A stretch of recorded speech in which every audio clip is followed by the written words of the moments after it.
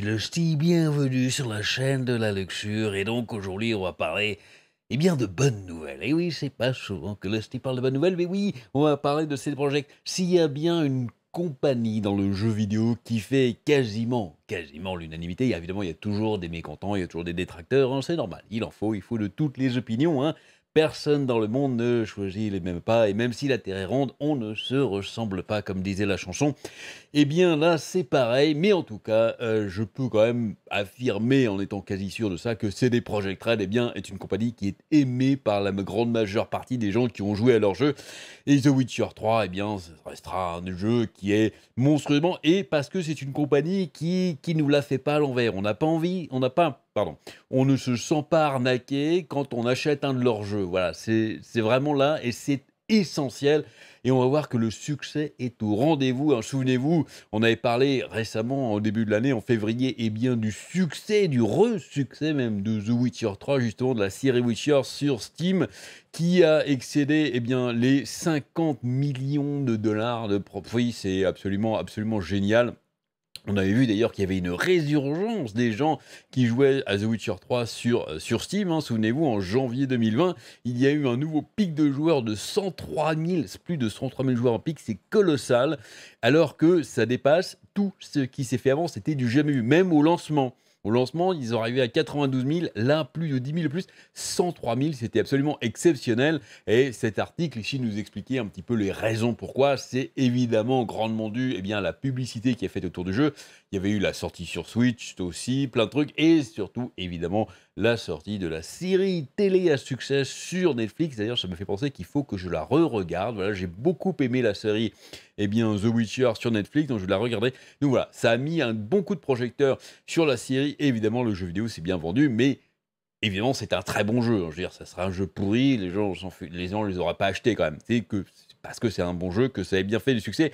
Et donc voilà, plus de, je crois, 518%, 500, pardon, 554% plus haut en, vente physique qu'en décembre 2018. C'est absolument exceptionnel. Et on avait cet article ici, donc que j'avais couvert à l'époque, qui montrait un petit peu toute la croissance des revenus de euh, CD Projekt Red et ce qui faisait que, eh bien, The Witcher, donc, et la, enfin, la compagnie qui développe The Witcher, et donc CD Projekt, est maintenant, à l'époque, à l'époque en février, la deuxième plus grosse compagnie de jeux vidéo d'Europe, derrière Ubisoft, hein, toujours un Cocorico, la France, voilà, merci, général. Super, bah, on était quand même très, très, très content de, euh, de ce succès, de tout ça, voilà. Et, eh bien, il y a du nouveau parce que oui, le succès, l'argent, eh bien, continue à affluer dans les poches de CD Projekt, même s'ils sortent rien. il y a quand même toujours plein d'entrées d'argent. Et du coup, eh bien, ça y est, ça y est, apparemment, ils ont réussi à, dé, à dépasser Ubisoft, les salauds de polonais. non mais on est content, on est très content, on est extrêmement content pour eux. Donc voilà, c'est ce que nous explique ici ce petit article hein, en capitalisation boursière en tout cas. Eh bien, CD Projekt est maintenant devant Ubisoft, la première compagnie donc en Europe c'est fantastique. Le groupe CD Projekt qui comprend les développeurs de The Witcher 3, Wild Hunt et la plateforme de distribution numérique GOG. Hein. Euh, on l'oublie souvent de le dire, mais c'est eux qui développent GOG. Hein. C'est important parce que c'est une boutique qui est entièrement dédiée à la vente de jeux vidéo sans DRM. Voilà, sans ces vilaines bêtes de DRM que vous détestez tant. Donc voilà, si vous voulez être sûr d'avoir des jeux sans DRM, allez acheter vos jeux sur GOG. A de nouveau donc monté en flèche lundi, dépassant officiellement Ubisoft pour devenir la société de jeux vidéo la plus précieuse d'Europe. Ah donc c'est la cotation en bourse. Vous avez bien lu, la société primée qui nous a confié la trilogie de The Witcher est actuellement la plus grande que le géant technologique français en termes de capitalisation boursière. Au moment d'écrire ces lignes, c'est un article de Gameplay Mechanics, Ubisoft valait 35,6 milliards de PLN. Alors, c'est la monnaie polonaise, hein, c'est le zloty. un peu bizarre comme nom. Je crois qu'à l'époque, on avait des gens avaient appelé ça le zloty sur, ma vidéo. Ça me fait très plaisir. Hein. Mais bon, tandis que la valeur de marché de, de CD Projekt est 36,5 à 35,6 contre 36,5 zloty. Bien que ce soit une réalisation énorme, il est important de rappeler que CD Projekt a enregistré 521 millions de zloty de revenus et 175 millions de zloty de bénéfices nets en 2019, tandis que Ubisoft a généré 416,2 millions d'euros, hein, qui est quand même, bon, c'est 1,89 milliard de zloty, donc c'est quand même bénéfice plus. On parle de capitalisation boursière, encore une fois, hein, pas de revenus. De revenus au troisième trimestre de l'exercice, année 2019 seulement, étant donné que l'éditeur français prévoit de publier 5 productions à gros budget au cours de cet exercice, à savoir Watch Dogs Legion, donc God and Monster, Tom Clancy, Rainbow Six Quarantine, Quarantaine, pardon, Quarantaine, Assassin's Creed Valhalla et encore un, jeu à publier. J'avais euh, montré ça dans une précédente vidéo lorsqu'ils avaient fait leur bilan financier, hein, cet fameux appel aux investisseurs, comme quoi ils disaient que malgré qu'il y avait eu plein de, de retard de jeux, eh bien les, les bénéfices étaient toujours là. Ils avaient quand même euh, ça avait un peu baissé, mais pas autant que ce qu'ils pensaient, donc j'étais assez content. Et que l'année 2020, ce serait l'année d'Ubisoft parce qu'il y a plein de trucs qui vont sortir, donc ils vont se faire énormément de pognon. Il est sûr donc de dire que la force des plus grandes marques d'Ubisoft se traduirait par une performance impressionnante tout au long de l'année. Évidemment, on se doute bien que ça va pas forcément rester comme ça, vu les prédictions pure Ubisoft en termes de sortie. Mais, mais, mais comme nous l'explique ici cet article, euh, qui évidemment nous explique que c'est quand même assez euh, temporaire, hein, la capitalisation boursière de CD Projekt rivalise avec Ubisoft, mais pas pour longtemps. Hein. c'est l'opinion de Matthew Andrahan de chez GameIndustry.biz. Et oui, parce qu'il y a quand même une grande inconnue. On sait que Ubisoft va faire un carton. La grande inconnue, c'est évidemment Cyberpunk 2077. C'est quand même, on sait, pour moi, le jeu être un carton, mais on sait Bon. On ne sait pas à quel point ça va être un carton par rapport à tous les autres jeux que Ubisoft va sortir. Donc voilà, un éditeur, eh bien, euh, par contre, ce qui est exceptionnel, c'est euh, le ratio, c'est ce que nous explique l'article, c'est le ratio de nombre de jeux sortis par rapport à la réussite financière. Un éditeur qui n'avait pas encore atteint 10 jeux propriétaires au cours de sa vie a aidé de passer une entreprise qui publie presque ce nombre au cours d'une année donnée, une grande réussite et un bon titre sanglant. C'est vrai que c'est là où est toute la réussite. C'est-à-dire que Ubisoft, c'est euh, des jeux à l'appel, hein, vas-y, de la microtransaction, en veux-tu, en voilà. Alors que c'est des projets avec euh, donc même pas 10 jeux propriétaires, ils sont arrivés en capitalisation boursière au-dessus. Est-il besoin de rappeler quand même que oui, en sortant des très bons jeux juste de temps en temps et en se, se foutant pas de la gueule, en prenant pas euh, les, gens, les gamers, pour des vaches à lait, en sortant des très bons jeux et en faisant payer pour des DLC qui ont énormément de contenu, où les gens sont vraiment contents de payer, eh bien, on peut se faire plein de pognon. Ah oui, c'est pas juste, euh, hein, c'est pas du jeu communiste, j'allais dire. Hein, vous avez compris, c'est pas juste, bon allez, on est gentil envers les gamers, on se fera un petit peu moins d'argent. Non, non, il y a vraiment moyen de se faire plein de pognon en faisant des très bons jeux et assez et de manière euh, assez rare, c'est-à-dire de ne pas en sortir 10 par an quoi. Bref. Fermons cette parenthèse. Au 20 mai, cependant, ces rôles étaient déjà inversés avec Ubisoft juste devant CD Projekt Red en termes de capitalisation boursière. Aujourd'hui, la situation s'est à nouveau inversée. CDPR remontant à 38,1 milliards de zloty, soit environ 8,4 milliards d'euros, un peu devant Ubisoft avec ses 8,38 milliards d'euros Revenez demain et la situation pourrait bien être différente de nouveau. Évidemment, évidemment, je doute que c'est pas c'est pas soutenable, ça veut dire, mais ils sont quand même arrivés pendant une petite période et c'est quand même assez exceptionnel. Bon bref, je passe un petit peu. D'autant que là, regardez, hein, c'est quand même assez marquant, c'est la progression de euh, eh bien, la valeur boursière de CD Projekt qui est en constante augmentation, alors qu'on sait, dans les grosses compagnies en général, il y a des hausses et temps, il y a des grosses baisses. Et on voit ici, hein, évidemment, Ubisoft a souffert ici euh, fin 2019 d'une grosse baisse, après avoir évidemment remonté puis redébaisse. C'est surtout pour ça. Et donc Ubisoft, on voit ici, hein, il y, a une petite stagnation ici hein, à partir de entre mi, euh, enfin plutôt fin 2018. On sait qu'il y a une pas mal une bonne grosse baisse en tendance. Et évidemment ici, ce que nous explique en fait l'article ici, c'est évidemment le problème Cyberpunk 2077. À ce stade, Cyberpunk est aussi proche d'un succès garanti que possible dans l'industrie des jeux et beaucoup y joueraient rivalisant avec les premières ventes de The Witcher 3. À mon avis, à mon avis, il va, il va tout éclater. Mais ça, ça, ça n'est que mon avis personnel. Alors c'est purement subjectif, c'est à l'instinct. Mais je pense que euh, Cyberpunk 2077 va éclater les ventes de, de The Witcher 3. Il va d'ailleurs éclater beaucoup de choses et ça va être un carton intersidéral. On verra bien, évidemment. Peut-être que quand le jour viendra, je viendrai faire une vidéo d'excuses sur YouTube. je m'excuse. Mais pour moi, non, c'est ça qui va se passer.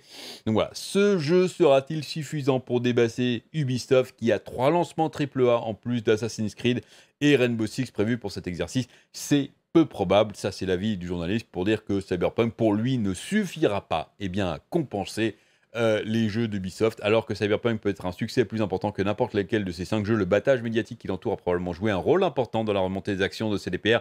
Évidemment, la, capitalisation boursière, c'est euh, aussi énormément fait sur la confiance, la confiance dans le futur d'une entreprise. Là, on sait que il n'y a pas eu, y a eu quelques petites vaguelettes hein, sur, quelques petites, petits dramas débiles sur le jeu, mais globalement, les gens sont contents. Il y a plein de, les précommandes sont là. Voilà, donc la confiance est là, donc c'est normal que l'action continue à augmenter. Et on sait qu'une fois que le jeu va sortir, vont se faire plein de pognon, donc c'est normal. C'est pour ça les gens investissent pour, eh bien, peut-être vendre plus tard. Ça c'est ça c'est la bourse. Hein. C'est pas c'est pas du tout mon truc, mais bon, ah, il y en a qui aiment ça. Après tout, il en faut. Il en faut pour tous les goûts. L'optique est extrêmement importante en bourse, c'est ce que je viens d'expliquer. Mais CDPR a peut-être déjà encaissé une partie importante du chèque de Cyberpunk.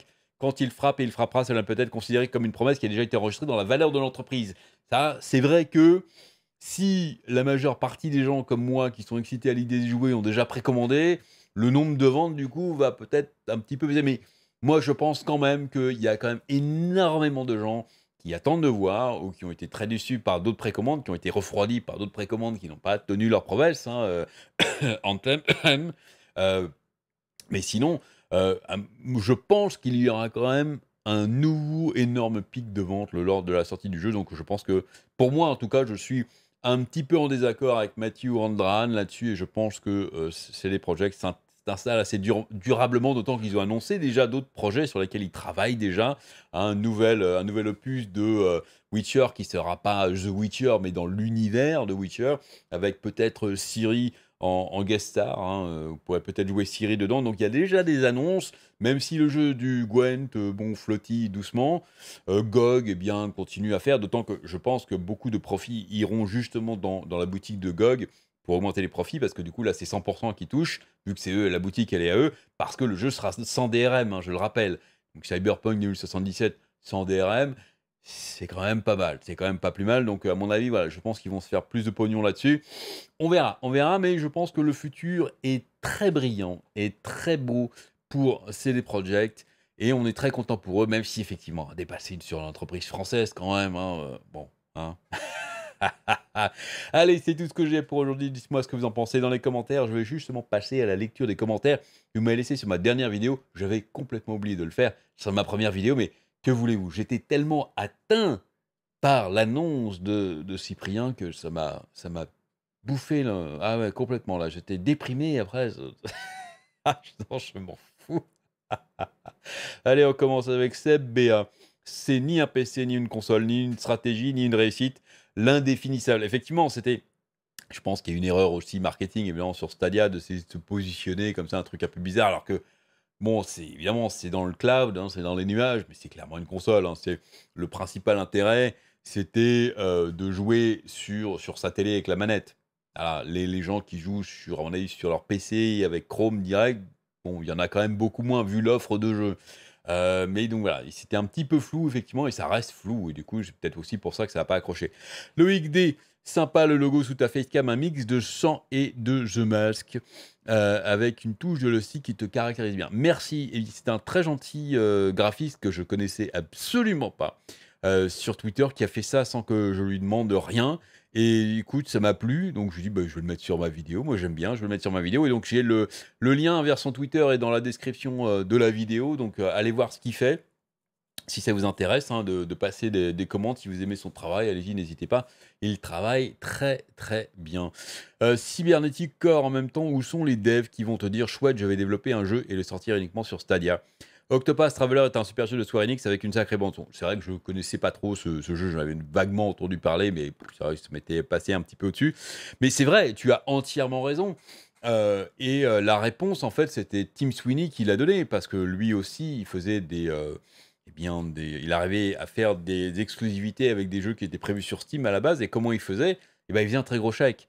Et du coup, alors évidemment, c'était pas des triple A, mais c'était des jeux indés hein, très prometteurs. Et du coup, c'est vrai que euh, le, eh bien, le patron de la boîte indé, il dit bon, euh, exclu Epic, bon d'accord, c'est peut-être un petit peu moins bien que sur Steam, mais le chèque que Tim Sweeney va me faire là, moi, ça va me permettre de faire tourner ma boîte et de payer mes employés pendant les prochaines années à venir.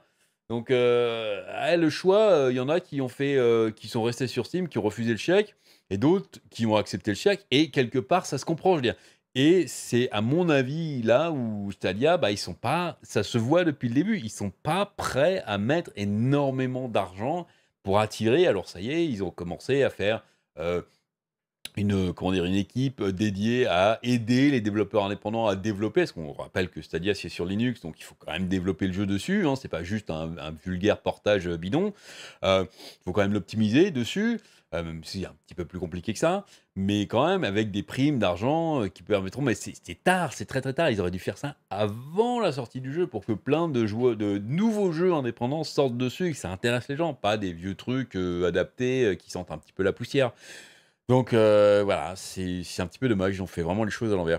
Mon youtubeur préféré qui parle de mon jeu préféré, je peux mourir tranquille, c'était évidemment, je parlais de Serious Sam. Petite info, et c'est là on a une, petite euh, explication, un petit éclaircissement, merci Zud de 64.